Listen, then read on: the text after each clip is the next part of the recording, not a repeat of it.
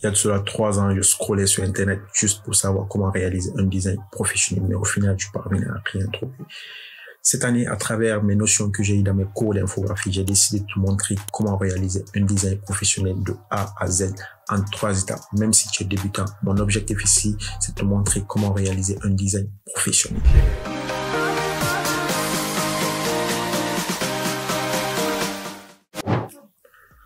Pour ceux qui ne me connaissent pas, moi c'est Florent Colamo. Aujourd'hui, j'ai décidé de vous apprendre comment réaliser un design professionnel en seulement trois étapes. Création de fond, insertion d'images et de transition, insertion d'informations. Je t'invite à suivre cette vidéo jusqu'à la fin car toute étape est cruciale pour la réalisation d'un design professionnel. Alors sans plus tarder, passons sur l'écran de mon ordinateur et je vais vous montrer comment réaliser un design professionnel. Let's go. Dans la création d'un design professionnel, il est très important de bien travailler son fond parce que si notre fond n'est pas bien travaillé, nous n'allons pas avoir un résultat professionnel. Donc pour cela, moi j'ai déjà préparé mon tableau et nous allons passer sur l'écran. Je vais vous montrer comment réaliser ce fond. C'est très simple. Pour cela, qu'est-ce que nous allons faire? Moi je vais partir dans mon fichier déjà où j'ai déjà classé mes images et nous allons importer notre image avec quoi nous allons créer notre fond. Une fois que nous avons importé notre image, nous allons l'agrandir. Nous allons essayer de l'agrandir et de l'augmenter jusqu'à un certain niveau, comme cela, et nous allons le valider. Une fois que nous avons fini de valider, nous allons créer un masque juste là. Et sur notre masque, on va utiliser un pinceau. Ce pinceau, nous allons prendre un pinceau doux. Et aussi, n'oubliez surtout pas de sélectionner une couleur noire sur notre masque. C'est très important. Et nous allons venir juste en bas ici, peindre notre image.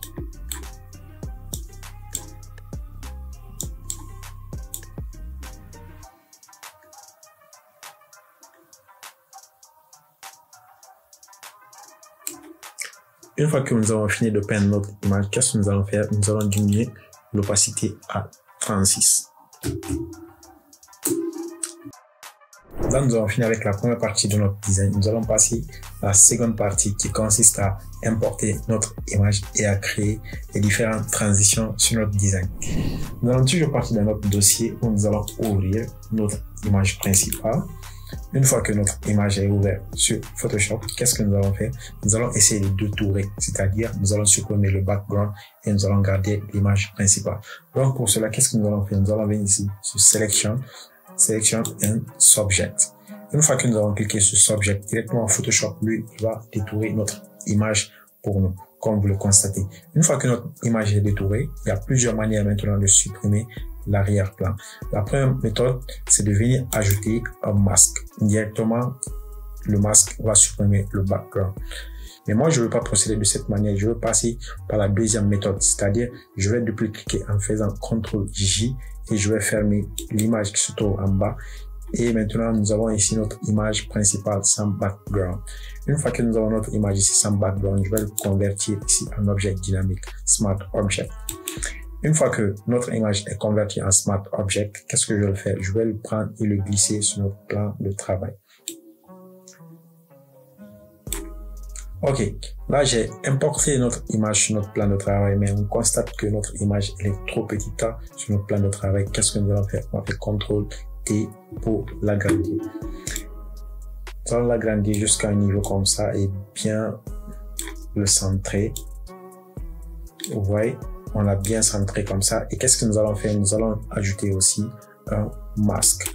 Une fois que nous avons ajouté un masque, nous allons venir ici sélectionner l'outil brush et changer de type de brush. Nous allons ici prendre un pinceau doux. Une fois que nous avons pris ça, il faut souvent contrôler que vous avez sélectionné la couleur noire.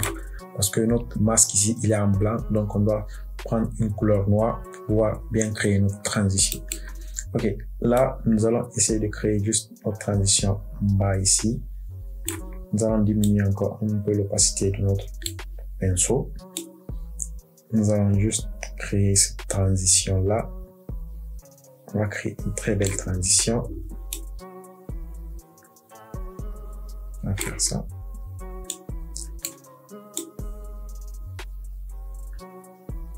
Une fois que nous avons mis un peu de background juste là, qu'est-ce que nous allons faire Nous allons sélectionner encore notre image. On va le descendre un tout petit peu ici. On va l'agrandir. Et on va rajouter encore un peu de transition en bas ici.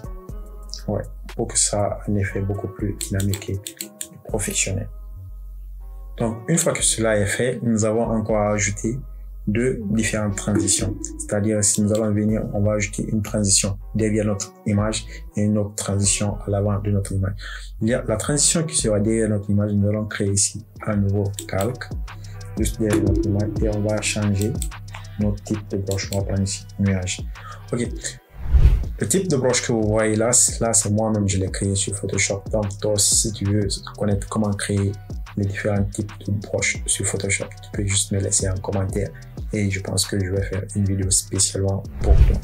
Donc, qu'est-ce que nous allons faire ici? Nous allons continuer avec notre transition. Nous allons ajouter un peu de transition derrière notre image principale là. Là, vous constatez, on va ajouter un peu de transition là. Et nous allons remonter à l'avant. Nous allons aussi rajouter un peu de transition ici pour donner un effet beaucoup plus dynamique euh, à notre design. Vous voyez là, on a rajouté les transitions. Une fois que nous avons fini avec la seconde partie qui concerne l'insertion d'images et les différentes transitions, nous allons procéder à la troisième partie qui concerne l'insertion des différentes informations de notre design. Je vous invite à me suivre très attentivement pour ne pas rater des différentes parties car cette partie est très cruciale pour avoir un design beaucoup plus dynamique et professionnel. Donc pour cela, je vais commencer d'abord par envoyer le titre de de, mon design. Pour cela, je vais venir dans mon texte. Je vais prendre ici mon titre, UFT par exemple.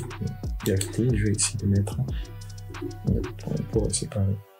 UFT present. Ok, nous allons le copier.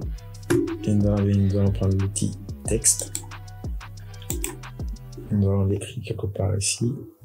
Et nous allons changer le style de texte. Nous allons mettre ARIA.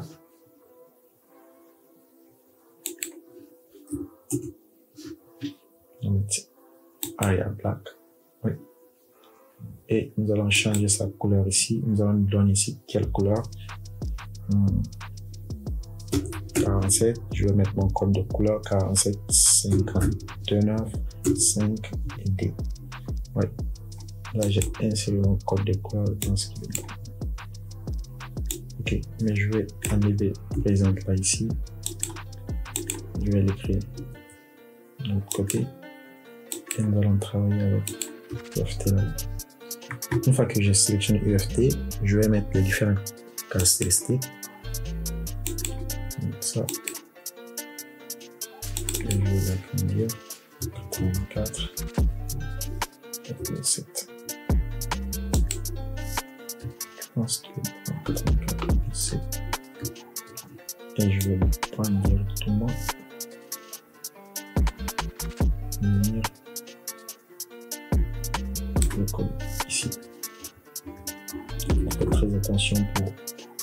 bien ajuster votre image et votre texte. Je le colle ici et je vais prendre mon present. Mon present, lui je vais pas le mettre en black, je vais le mettre ici en, en bold. Je vais changer les caractéristiques. Voici pense qu'il est bon. Je vais le glisser juste en bas ici.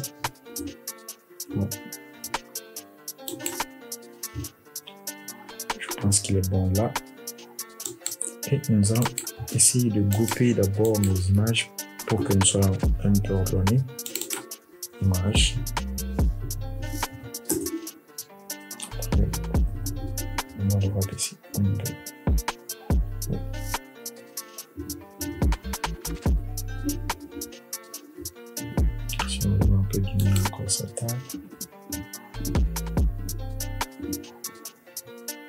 le voir ici. Ok. Une fois que nous avons fini de mettre le texte, le premier texte, c'est-à-dire le titre de notre design, On va mettre le nom de l'artiste. Son nom c'est Absir Fanja. Je te fais dédicace mon pote. T'es mon meilleur artiste, Absir. Ok. C'est pas le but. Hein. Donc Fanja. On va juste le mettre ici. On va le coller ici. On va, on va le centrer un peu au milieu ici. Et on va changer le style. On coller sur notre app.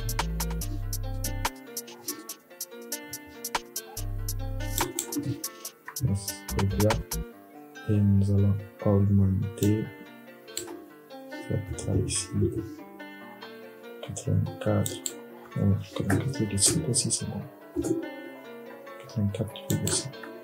ok une fois que nous avons mis le nom de notre artiste juste à ce niveau, qu'est-ce que nous allons faire? Nous allons lui donner des couleurs. Mais ces couleurs, nous n'allons pas le prendre n'importe où. Je vous invite à me suivre très attentivement comment je vais faire pour sélectionner mes couleurs.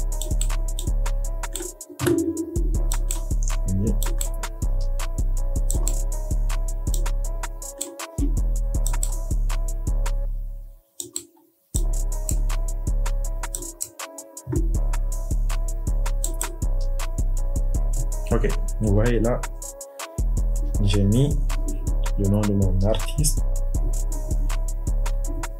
et les différentes couleurs du texte.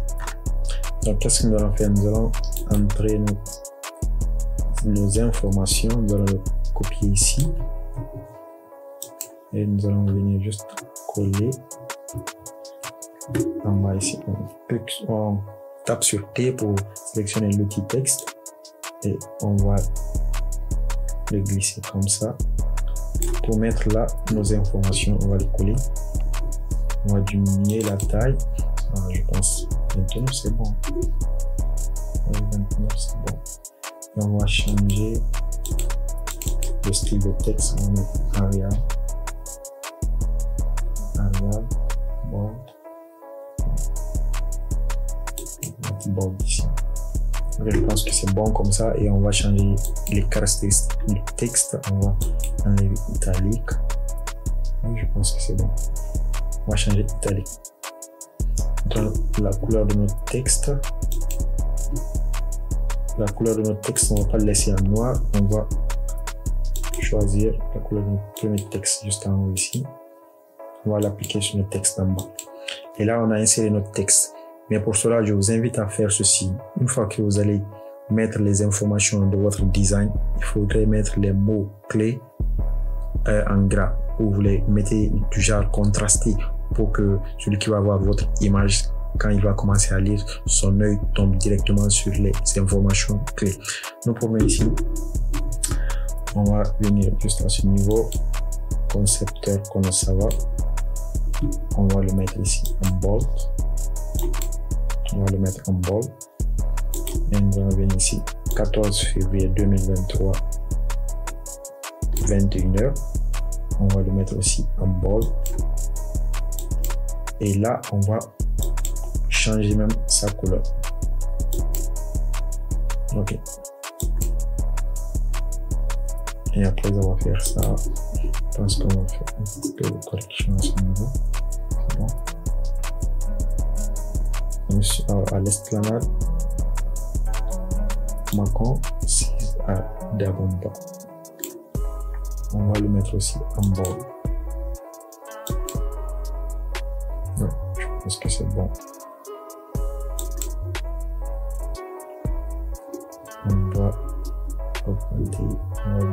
Ok. Je pense qu'à ce niveau, c'est bon.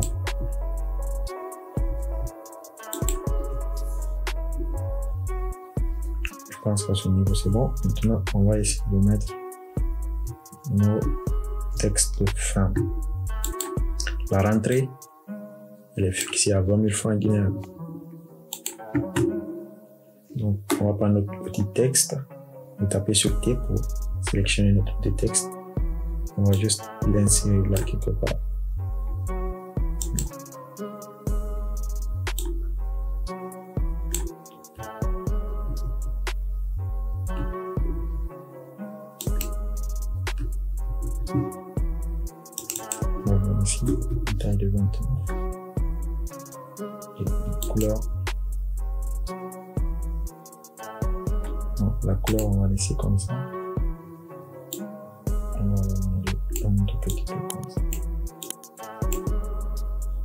Que c'est bon. À ce niveau, on va être un peu créatif. Hein. On va, on va laisser comme ça. On va être, essayer d'être un peu créatif. Donc, euh,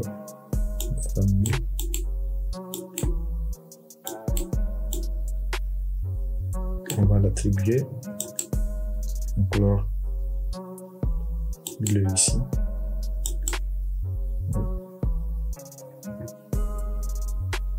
Je pense que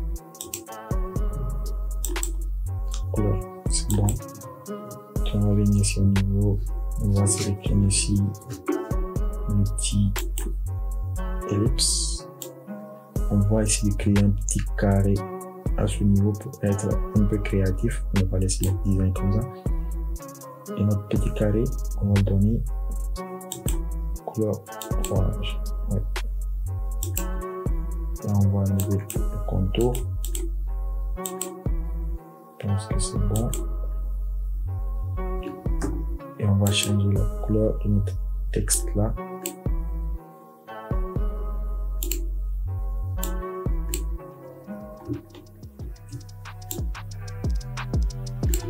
le mettre en blanc pour que ce soit beaucoup plus lisible sur la couleur orange. Je pense que lui il est bon. Notre ellipse.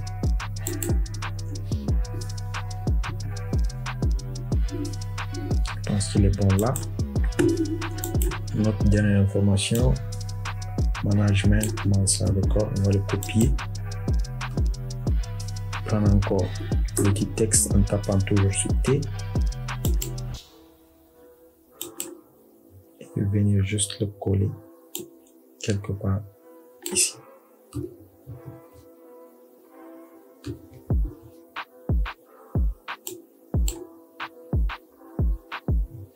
Cette fois-ci, on va essayer de réduire la taille pour que ça puisse suffire là.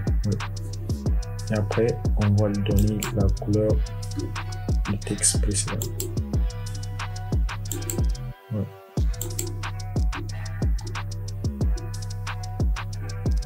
Je pense qu'il est bon là. Ici, on finit ça comme je vous ai toujours dit. On va essayer d'être un peu créatif. On va essayer de, de mettre ici une ligne pour être beaucoup plus créatif.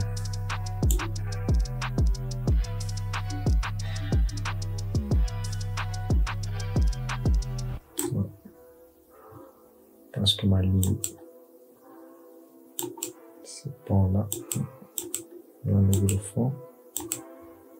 Je vais mettre le contour et je vais l'augmenter Ouais, je pense qu'il est bon.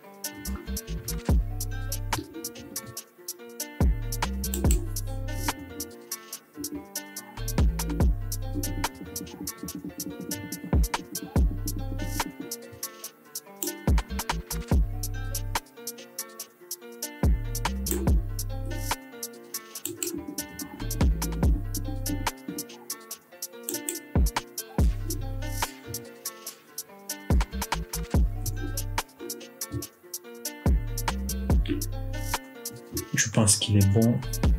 C'est bon là. Maintenant, on va ici de mettre un peu d'effet sur nos, sur nos textes. C'est pas tous nos textes, hein. juste le nom de l'artiste et le titre de notre design. Donc, on va venir ici, blending option. Une fois que nous sommes dans Blend Motion, option, il y a aussi Drop Shadow.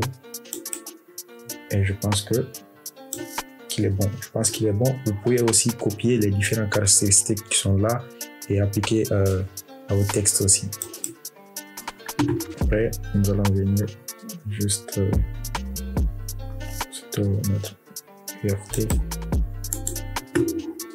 On va le mettre aussi. Le même paramètre. Mais lui, euh, je pense que lui aussi est bon. Un peu la taille.